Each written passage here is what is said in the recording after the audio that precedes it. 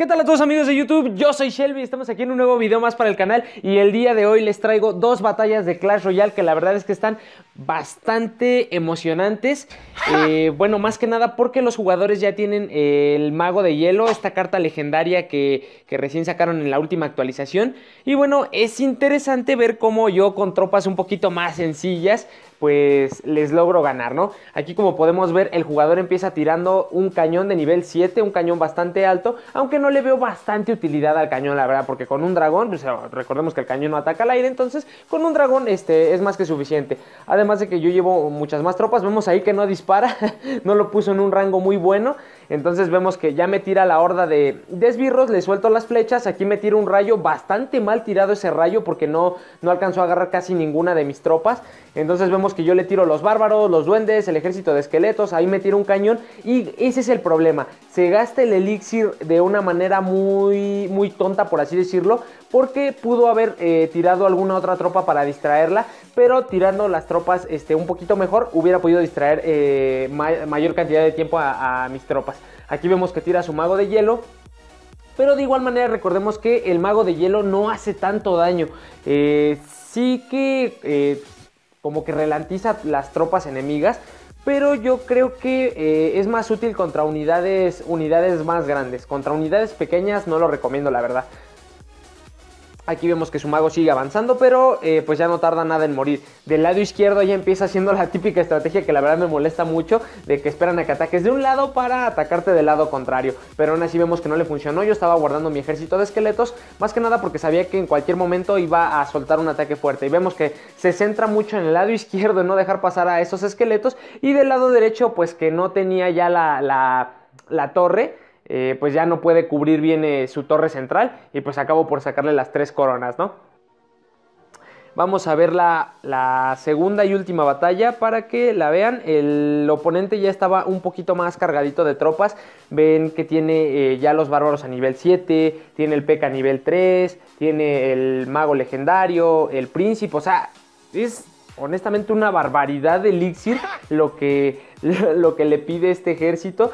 Pero bueno, cada quien, ¿no? Pero aún así yo creo que se debe de tener un mazo un poquito más balanceado entre tropas, entre tropas de alto costo y bajo costo para que en cualquier momento, este, si te llegan a hacer un ataque, no sé, con alguna otra tropa grande, pues puedas pararlo con pequeñas unidades, ¿no? Recordemos que las tropas grandes se contrarrestan con pequeñas unidades. Aquí vemos que empieza soltándome el, el P.E.K.K.A y yo le suelto mi ejército de esqueletos para intentar acabar con él. Pero el jugador muy inteligente pues me tira las flechas, ¿no? Ahí muy bien por, ese jugador.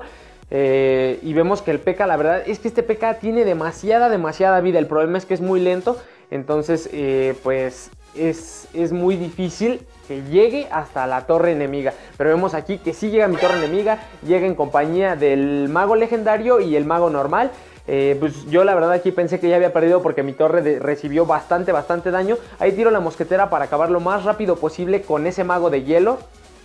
Entonces, este, bueno, él me tira el dragón. Pero aquí es el principal error. Se gasta todo el elixir, esas flechas, la verdad no sé por qué las tiró ahí. Yo empiezo tirando, este, bueno, ya había tirado la mosquetera, tiro los bárbaros, tiro duendes con lanza y él pues empieza ahí a gastar el elixir, pero ven que todas las tropas ahorita que tiene son 5, 7, 5 y 5 de elixir respectivamente y no le alcanzaba. Aquí vemos que tira bastante mal ese mago, porque pues el mago, no sé qué ahí, qué está pensando, yo creo que me voy, me voy, me voy. Ay no, pero ya me acordé que hay tropas, no, mejor me regreso.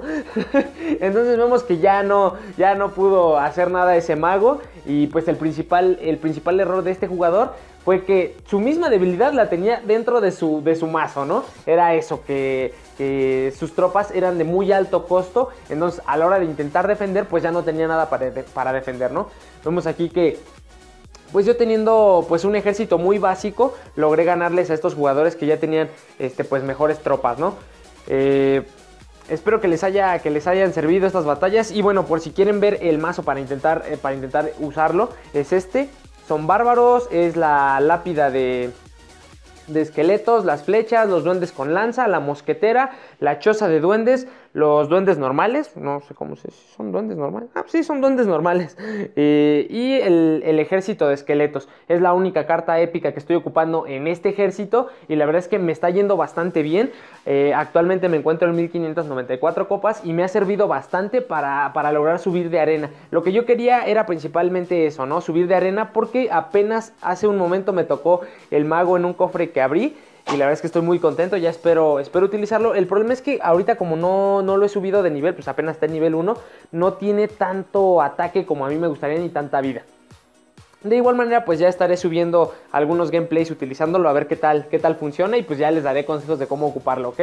Eh, de igual manera, bueno, antes de irme quiero agradecerles por el apoyo que ha estado teniendo el canal en estos últimos días porque he visto que muchos han estado participando en los comentarios, dejándome que felicidades por los 500 suscriptores y he visto también algunos usuarios que en cada video están ahí participando, dejando su like, compartiendo los videos. La verdad es que estoy muy agradecido con todos, con todos ustedes.